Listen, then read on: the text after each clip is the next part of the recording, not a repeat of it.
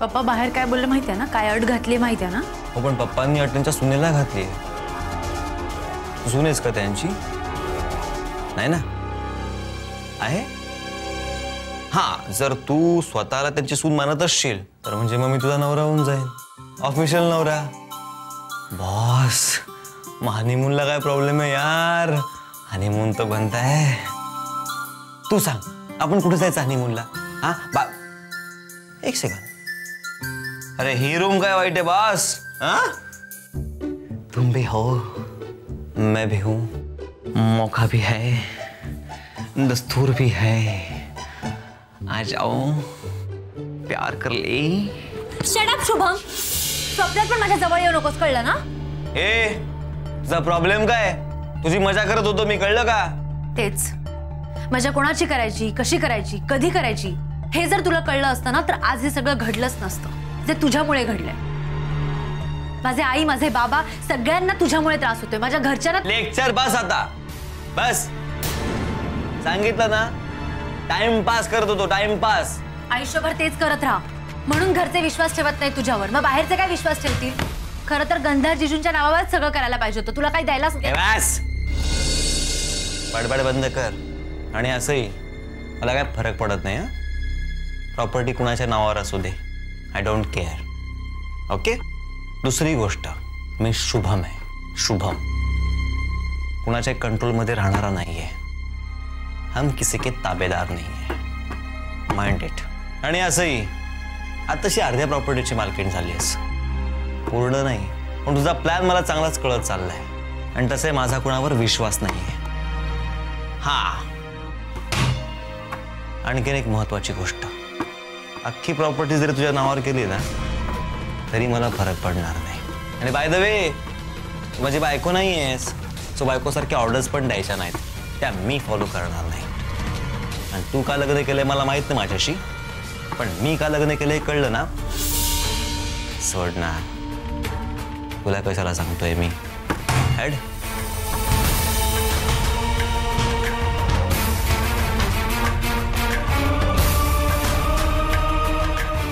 मी तुझ्याशी लग्न का केलंय हे तुला लवकरच कळेल, शुभम. आणि त्याच दिवसाची मी वाट बघते.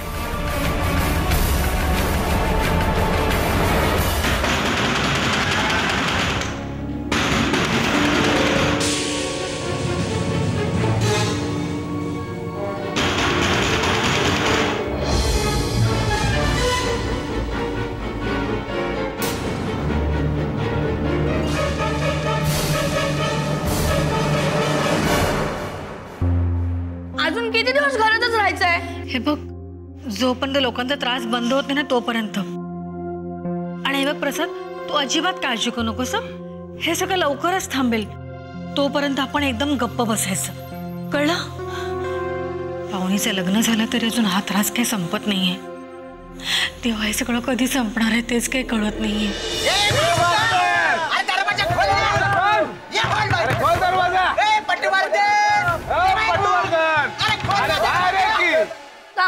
मी सगळ्यांना जाऊन सांगतो.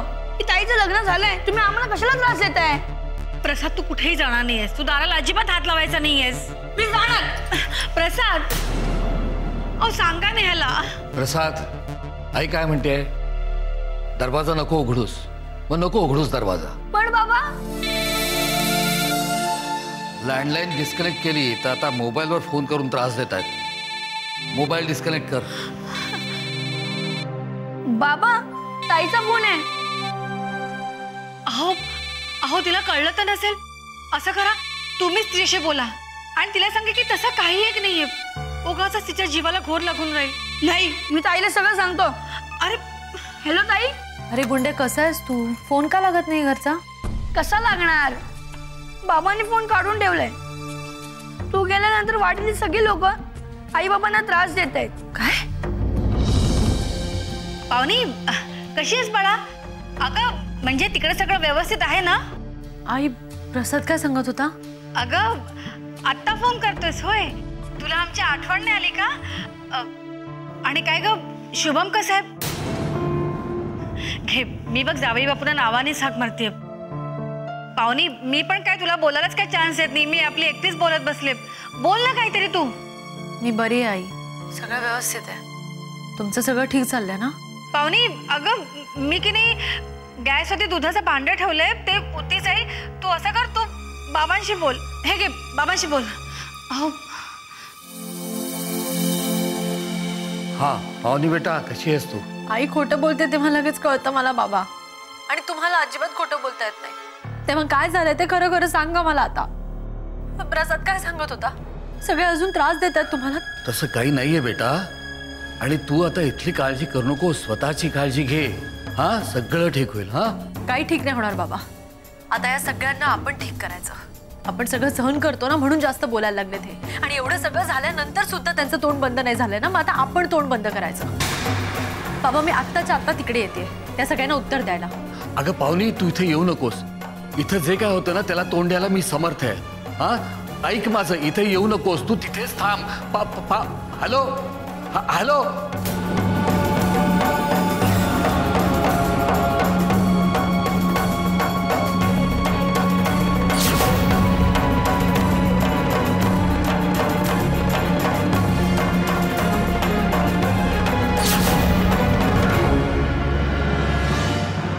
विभा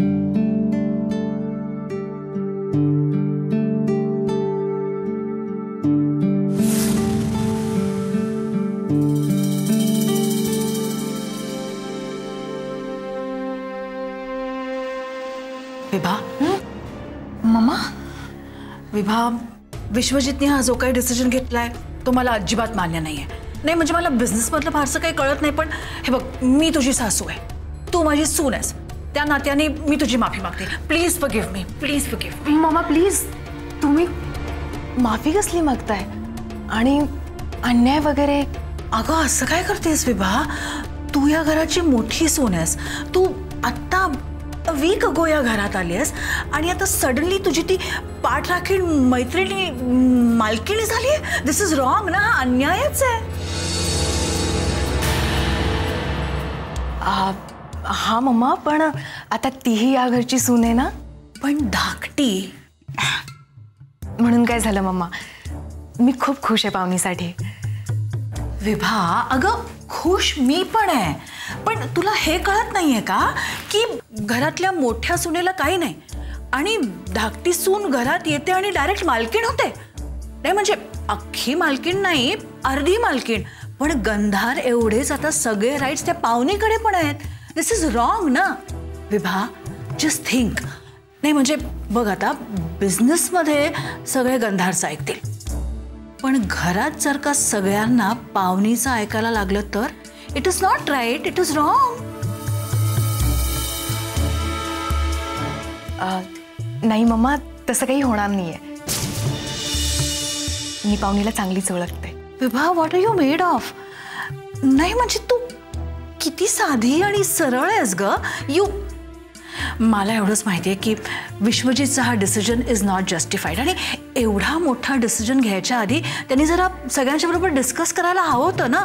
मला हे काही पटलेलं नाही आहे नाही मम्मा, मला असं नाही वाटत. पप्पांनी घेतलेला निर्णय अगदी योग्य आहे. त्यांना माणसांची चांगलीच पारख आहे. सिरियसली आणि असंही नक्कीच पाहुणीमध्ये चांगले गुण पप्पांनी बघितले असणार, म्हणून हा निर्णय घेतलाय त्यांनी. What is wrong with her मी काय बोलतेय? त्यावर ही अशी कशी रिॲक्ट होतीये? How can she be so dumb मम्मा काय म्हणालात का तुम्ही? नाही नाही. पण आता म्हणणार आहे. I am going to be absolutely blunt मी जरा स्पष्टच बोलणार आहे Vibha. Don't take it wrong हे बघ विश्वजितनी हा जो डिसिजन घेतला आहे पावनीला मालक केलं आहे त्याच्यामुळे तुझ्यावरती अन्याय झालाय असं जर का तुला वाटत असेल तर दिस इज़ द टाइम आत्ता जाऊन विश्वजितला सांग की तुला हे मान्य नाही आहे डू इट नाव नाही मम्मा मला असं काहीही वाटत नाहीये. पप्पांनी जो काही निर्णय घेतला त्याबद्दल मी खूप खुश आहे. सिरियसली एनिवे किचनमध्ये मला खूप काम आहे मी आलेच. Okay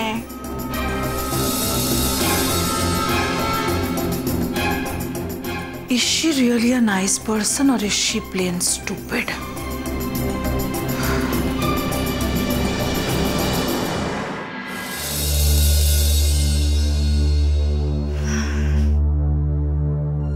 पावनीला फोन लागला का?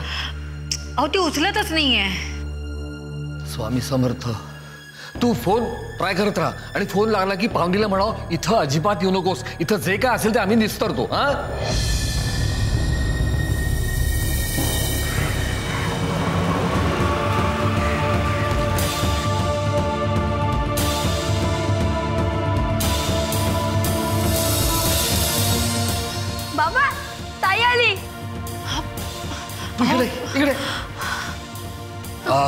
इथून हालायचं नाही. लक्षात राहील?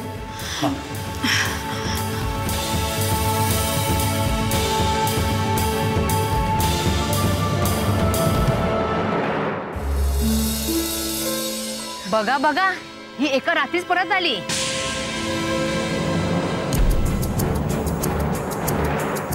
काय हो भाऊजी? मुलीचं तुम्ही लग्न लावलात ना? मग इथे काय करते?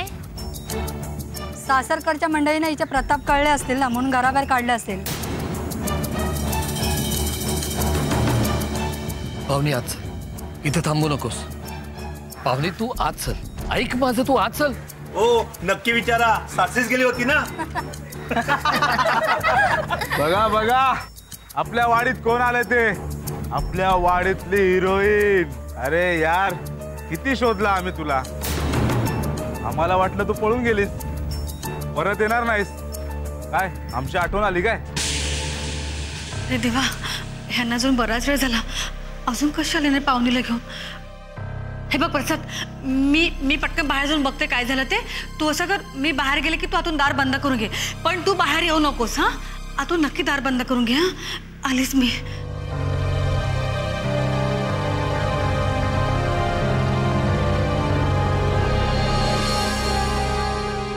तुला नको म्हणालो तू ना.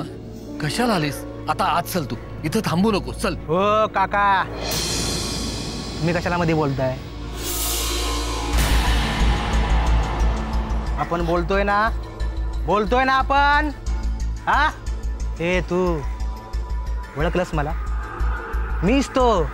त्या दिवशी तुझ्या बापाचं थोबाड काळं करायला लावतो तोच मी. हा? आणि काय त्या दिवशी तुझ्या अंगात लय वारं संचारलं होतं हा? हातात कोयता घेऊन ठाई ठाई नाचत होतीस अंगावर धावून येत होतीस हा? आता का थंड पडलीस का घाबरलीस हा? घाबरलीस तर इथं कशाला आलीस? चल निघ ना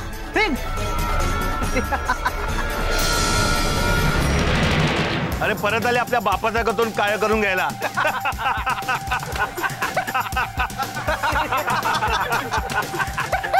एक मिनिट. एक मिनिट. आपण आहे ना? हिचं तोंड काळं करायला. आपण असल्या कामात लय पटायत आहे आणा रे.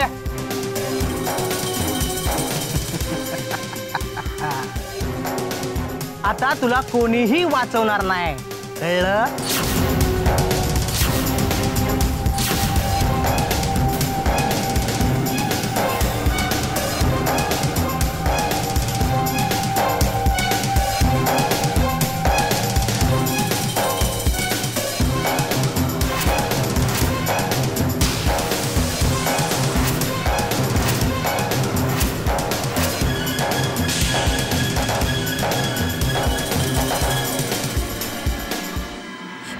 चल पाहुणे तू दूर हो। ए, चल। पकडायला ए, ए? अरे सोडा. थांबव, थांबव त्या दिवशी देवी बनून तुझ्या बापाला वाचवायला आलतीस ना? आता मी बघतो तुला कुठला परमेश्वर वाचवायला येतो ते. आता तुला कोणीही वाचवायला येणार नाही. कळलं? हा?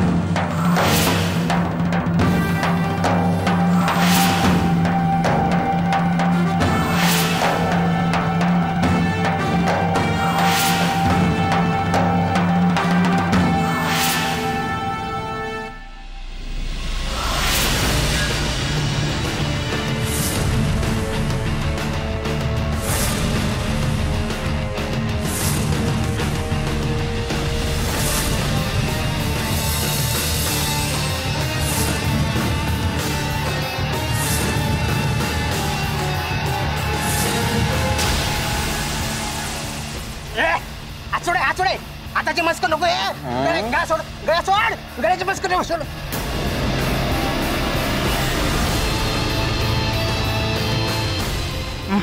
तू? आहेस कोण परमेश्वर वत्सा पावनीचा पती परमेश्वर आणि तुझ्यावर प्रसन्न झालोय. काढ. सोड. सोडा. हा. खरे माकडा. हं? तुला तोंड काळं करण्याची खूप हौस आहे ना? आपण एक काम करू हा? आता आपण तुझंच तोंड काळं करू. नाही. आय शाबास. आता तुझा हा रंग झाला पक्का. पक्का. अजून कुणाला तोंड काळं करायची हौस आहे? आहे का? या समोर! एक लक्षात ठेवा. शेवटचं सांगतोय बॉस हिचं नाव पावनी प्रदीप पटवर्धन होत.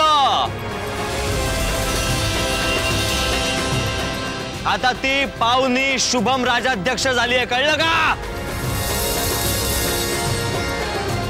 डोक्यात नीट घालून घ्या परत परत सांगणार नाही मी.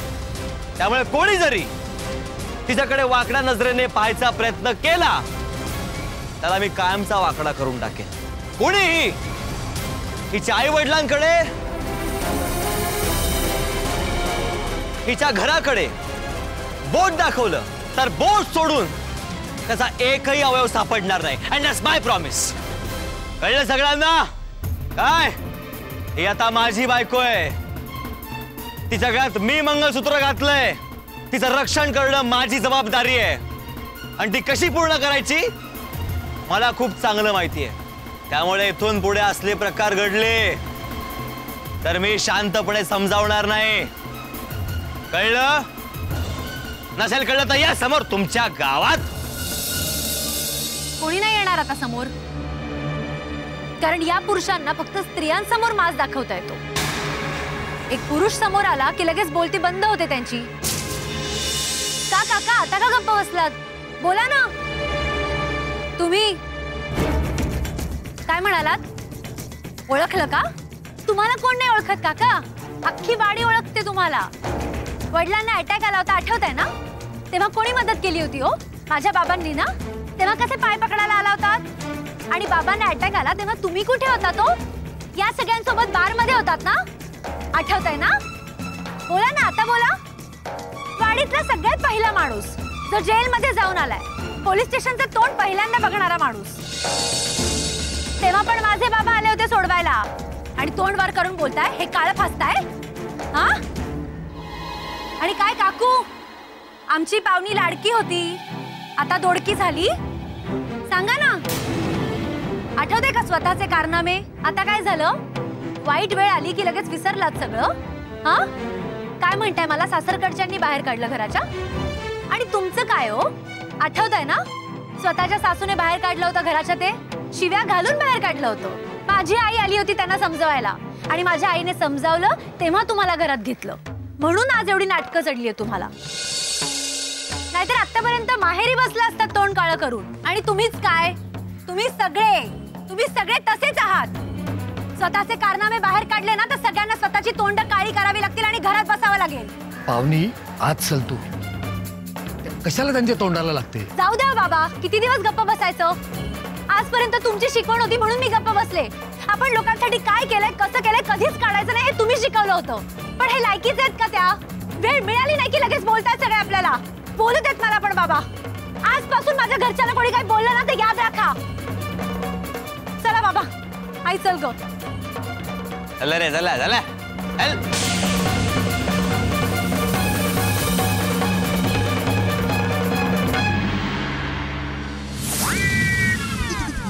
आईला एंट्री मारली मी. बोली बच्चन दिले मी. वाचवलं मी. आणि टाळ्या घेऊन गेली हिरोईन? हो. पण बॉस कडक बोलली. हा?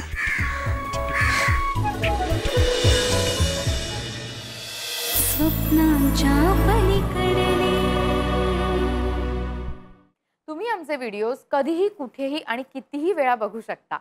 फक्त बघत राहा आणि सबस्क्राईब करायला विसरू नका. स्टार प्रवाह यूट्यूब चॅनलला